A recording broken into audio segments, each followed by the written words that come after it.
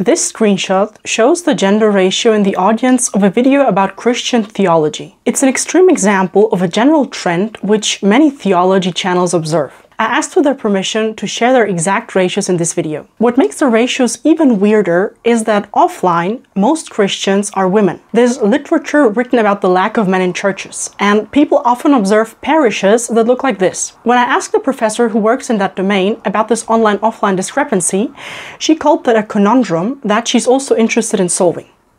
To my knowledge, there are no publications on this topic so far. So in today's video, I'll share some facts about the theological content men watch so much more than women, and I'll talk about the churches men go to and which ones they avoid. First, it's necessary that I tell you how I even ended up knowing about this huge online-offline discrepancy in Christianity. A couple of months ago, I participated in a study led by Professor Chan and Professor D, where they interviewed social media influencers who post content about religion and atheism. Among many other things, I was asked about the gender ratio on my channel, and one researcher mentioned that most content creators they interviewed had a male majority in the audience. That was quite interesting, but I didn't think much about it.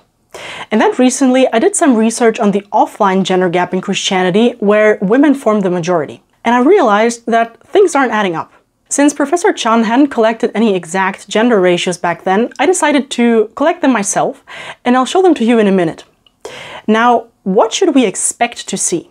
YouTube has about 55% male users, and about 45% of Christians worldwide are men. So to simplify things, we can expect that a channel about Christian theology has a 50-50 male to female ratio in the audience. And now comes the surprising part. If you'd like to make a guess about the gender ratios, this is your last chance. Most of the channels I asked have between 73 and 86% male majorities in the audience on average. You can pause the video now to take a look at their individual responses. My channel also falls in that range. But there are some channels which have the balanced ratios one would expect. And you know what they all had in common? They were all run by priests, kind of. I asked Father Mark Goring, Father Chad Ripperger from Sensus Fidelium, and one priest who preferred to stay anonymous. Then also Keith Nester, who is a former pastor, and Alvaro from Uniquely Mary, who is a former priest. They all had 50 plus minus 5% male audience shares. I don't think that having gone through seminary is the determining factor here. Rather, it seems that the type of content determines the gender ratio of a channel. But we'll get to that in a moment. What this data shows is that men are a lot more interested in religion than observations offline allow to expect. One of the reasons why men are underrepresented in some churches might be that religion is perceived as something for women. My hypothesis is that if men perceive church as primarily a space for women, they might be less inclined to attend, creating a self-fulfilling prophecy where fewer men show up because they expect other men won't be there. In fact, I asked you to guess the ratios of two theology channels, and you underestimated the male interest in both of those channels. I'd be thrilled to see if those results can be replicated through more formal research. The data shows that when given the chance to engage anonymously, like for example online, men show a strong interest in theology. So the situation with men in the church might be a lot less negative than some make it out to be, and in any case, the topic of the Christian gender gap is a lot more complex than it seems to be on the surface. Now let's get to the analysis regarding what determines the gender ratio of a theology channel, since there's quite some variance. In general, please keep in mind that the gender ratios can vary on a channel over time, so the ratios I showed you before are just snapshots. If you're interested in a more detailed explanation of the data I collected, including potential biases, you can pause the video now. It seems that the more a channel is about apologetics, the more extreme the gender ratios get. The screenshot from the thumbnail is one example of an extreme fluctuation. The person with that video preferred not to disclose which video that was from, but I can tell you that it's about apologetics and that the video had more than 10,000 views. You might be wondering whether there are also channels that have substantial female majorities in the audience. Out of the channels I asked, none had a majority like that, but I know that Emily Wilson said in one of her videos that almost no men watch her channel, and A Catholic Mom's Life also seems to have a mainly female audience. However, those channels often don't necessarily talk about religion itself, but rather about a woman's life from a religious perspective. It might also be that more traditional channels attract more men, but I didn't ask any progressive Christian channels to test this hypothesis. The reason why I suspect that more traditional channels might be attracting more men is that we see this trend in the attendees of traditional Latin masses. An institution that promotes the TLM found that the TLM is usually attended by about 55% men, with numbers varying between 50 and even up to 75% men. Another study, which focused on young adults specifically, found that 57% of the young adults which attended the TLM were men. This has to be contrasted with the numbers in Novus Ordo parishes. According to one source, in Novus Ordo masses, the typical share of regular male attendees is only 37%. I also asked you for your personal observations, and in total you could confirm that the TLM tends to attract the more balanced gender composition. It's important to point out that there are also Novus Ordo parishes with balanced gender ratios, so the TLM isn't the only type of mass that attracts men. But it seems to be the case that more traditional parishes attract more men, resulting in balanced ratios. As Father Mark Goring once put it, watered down Catholicism does not attract people to the Catholic faith. We can try this experiment over and over again. We will always get the same result. If we water down our Catholic faith, if we make it more politically correct, if we compromise the Catholic faith, people will not be attracted. They will not be drawn to the Catholic faith. The world might applaud us when we're embracing the spirit of the age, but people will not be attracted to the Lord Jesus because we're watering down his words. Statistically speaking, this seems to be particularly true for men. However, sticking to tradition might only solve the problem of male church attendance. I couldn't find any official data on this, but after talking to priests from fraternities that promote the TLM, it seems that outside of Sunday Mass, men are less likely to be involved in parish activities, even in traditional parishes. A potential reason given for this is a certain crisis of masculinity, or the fact that churches nowadays are more oriented towards the needs of women rather than men. David Murrow also mentions this problem in his book Why Men Hate Going to Church, where he writes that men's religion is masculinity. So he argues that men feel uncomfortable in situations where their masculinity is questioned.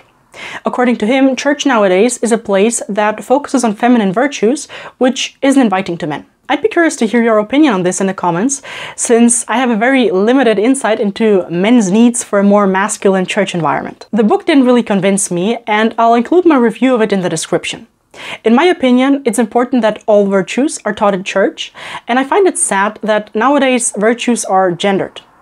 Either way, becoming a saint doesn't require leaving one's masculinity at the door, which I'd like to show through the example of St. Ignatius of Loyola.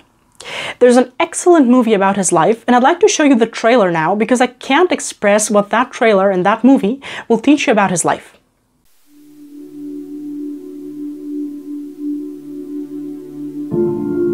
How many? 12,000, possibly more. Pamplona is lost, Loyola. I say we fight.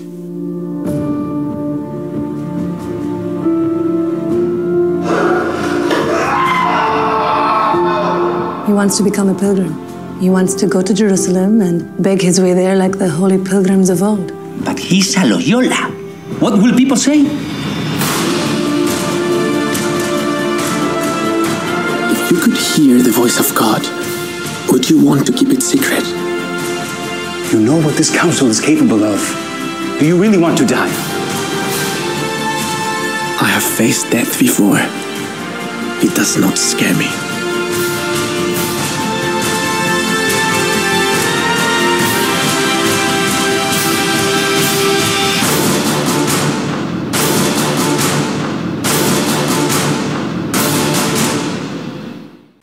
St. Ignatius was a soldier who spent the first 30 years of his life committing grave sins in basically all Ten Commandments. For example, the movie shows him visiting prostitutes and being violent. When we learn about the lives of saints, the focus is often on their life after conversion. This movie shows St. Ignatius as a soldier, a sinner, and a saint, and because his sinful past is not neglected, that makes him so much more relatable as a human. Another inspiring layer of his life is the way his journey to sanctity started.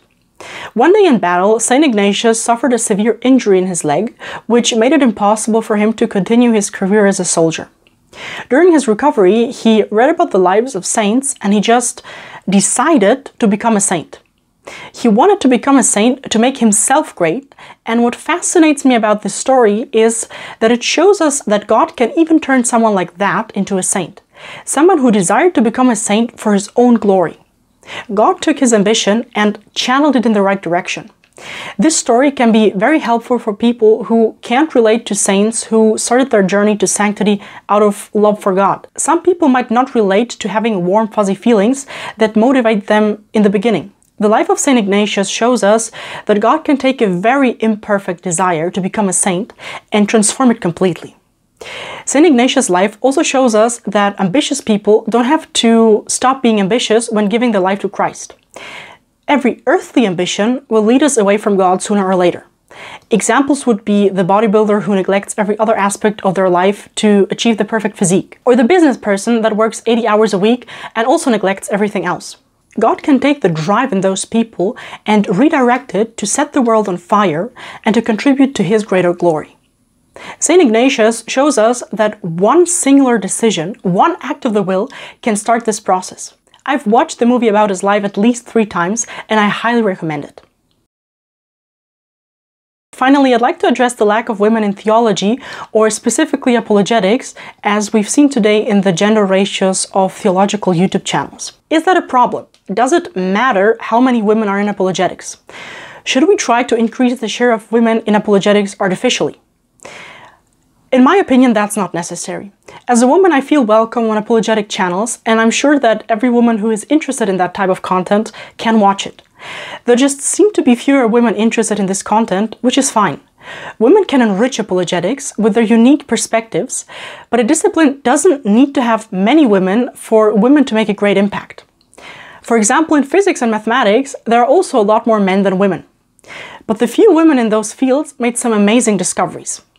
For example, there's Professor Taimina, who is a mathematician who also loves to crochet. And because of that hobby, she was the first person who managed to create a physical model of hyperbolic space. Then there's Emmy Noether, who was a mathematician who in 1918 decided to give some attention to physics as well, which led to the formulation of Noether's theorem, which to this day is often considered to be the most beautiful idea in physics. Similarly, women's ideas can also contribute to apologetics. So if you have a daughter, you can offer her apologetic books to see if she's interested. But if she's not, that's also fine. In conclusion, what matters is that as many people as possible, both men and women, get to heaven. And I hope that this video provided some helpful information on how to achieve this goal. That's been it for today. See you soon, God bless, and bye!